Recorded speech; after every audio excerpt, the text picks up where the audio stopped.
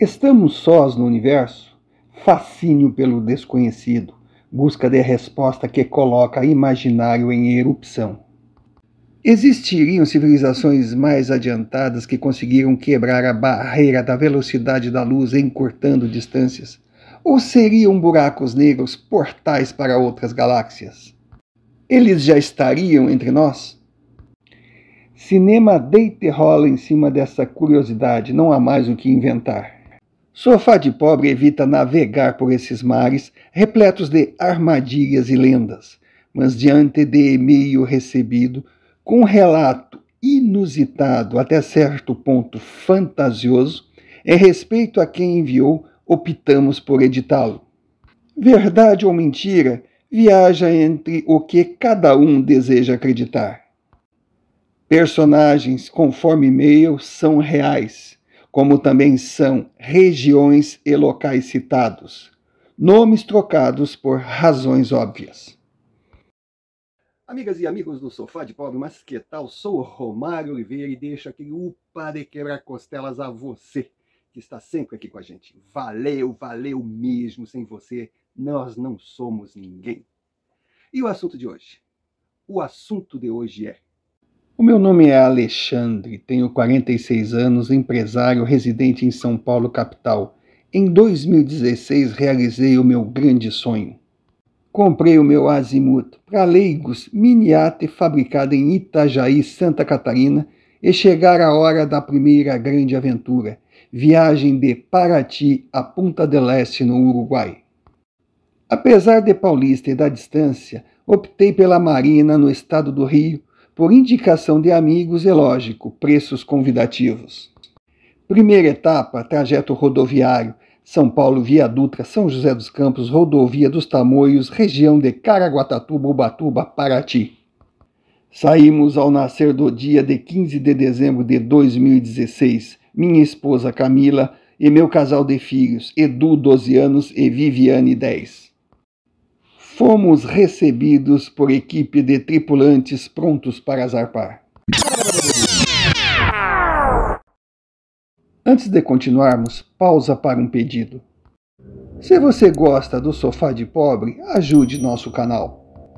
Se não for inscrito, inscreva-se, deixe o seu like, compartilhe, convide amigos, clique no sino das notificações para receber mais vídeos por nós produzidos e não esqueça de clicar também no ícone Valeu, fazendo sua contribuição.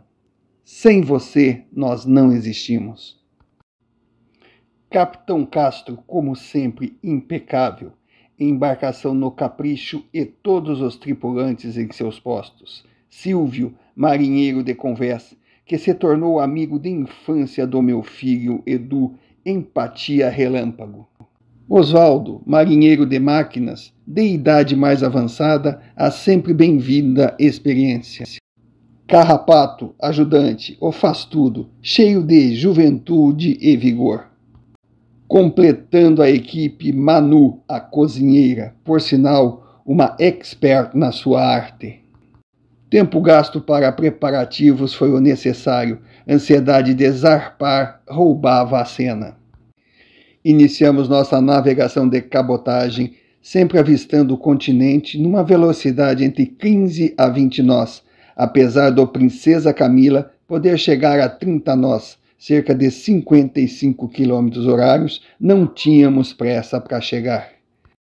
Primeiro pit no porto de Itajaí, tempo para um breve tour pela bela cidade catarinense e oportunidade para as crianças conhecerem o Beto Carreiro World sem esquecer da emoção ao Princesa Camila ao voltar à sua maternidade. 24 horas depois, em 17 de dezembro de 2016, ao amanhecer, já estávamos a todo vapor. 38 horas depois, cumpridas 411 milhas náuticas, 711 quilômetros, numa velocidade de 21 nós, estávamos no litoral gaúcho, na costa de São José do Norte. Aproveitando o mar calmo e clima favorável, optamos em fundear e permanecer ancorados de 18 a 19 de dezembro, não foi uma boa ideia. Na madrugada deu-se início ao pesadelo. Fomos despertados com um estrondo estarrecedor. Não acreditei na imagem vinda através do albouro, um monstro emergindo do mar. Corrida sincronizada, todos deixamos as cabines e fomos tentar entender. Aquilo estava a bom bordo, a poucas milhas de nós. Som ensurdecedor chamou a atenção, frase dita por meu filho, igual aquele barulho da internet.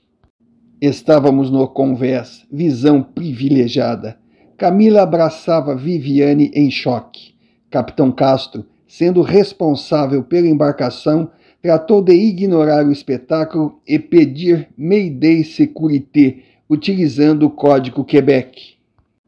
Comunicava nossa localização ao continente, dando conta de embarcação em perigo. Eu, estático, me limitava a analisar cada detalhe daquele monstro de metal, longe de ser um disco. Posso descrevê-lo como um losango circular com dimensões difíceis de mensurar. Sem exagero, deveria ter o tamanho aproximado de um transatlântico. Edu, com filmadora nas mãos, buscava gravar todos os detalhes, tendo Silvio sempre ao seu lado, zelando por sua segurança. Oswaldo apenas observava e apontava para alguns detalhes. O objeto realizava um quase imperceptível movimento de rotação e translação. Dele vinha luz muito forte, em movimentos alternados, espécie de pisca-pisca. O mais impressionante era o comportamento do mar. Barlavento praticamente nulo, oceano indiferente ao gigante que se mostrava ao sair das profundezas. Outro fato a chamar a atenção. Primeira vez que vi carrapato desligado do 220. Nem piscava, melhor dizendo, piscava somente o que, por delicadeza, não citarei aqui.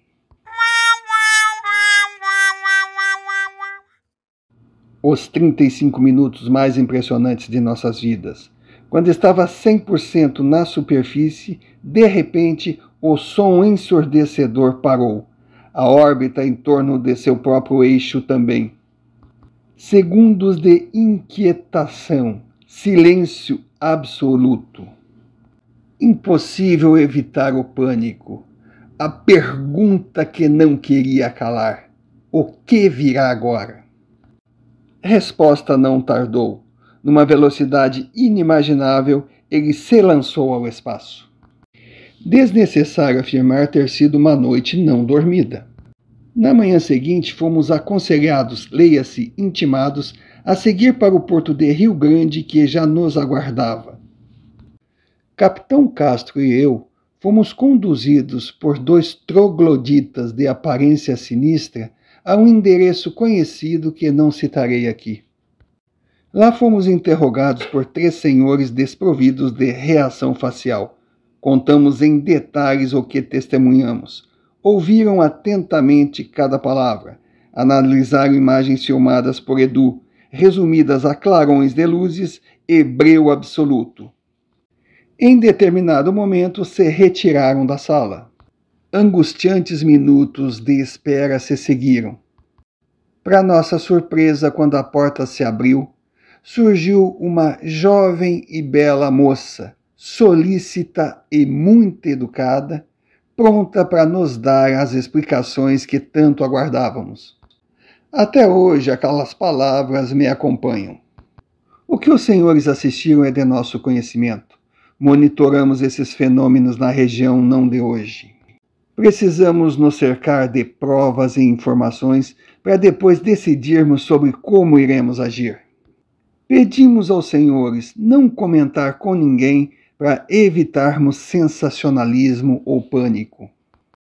Muito obrigado e que fique claro: os senhores nunca estiveram aqui. Saímos de lá convictos de se tratar de um segredo a ser guardado. Recebi a palavra dos tripulantes de silêncio absoluto e tudo leva a crer terem cumprido o prometido. Capitão Castro segue comigo junto com Manu. Silvio hoje é proprietário de sua própria embarcação. Carrapato casou e abandonou a vida de marujo. Osvaldo faleceu em 2020. Para as crianças, criamos a versão de termos nos assustado à toa com um balão meteorológico. Não sei se acreditaram, mas não tocaram mais no assunto. Decidi procurar o canal por indicação de um inscrito com a certeza do sigilo de informações comprometedoras e que tratarão meu relato com o respeito que ele merece, postura que desde já agradeço. Em tempo, Punta del é linda, vale a pena visitar.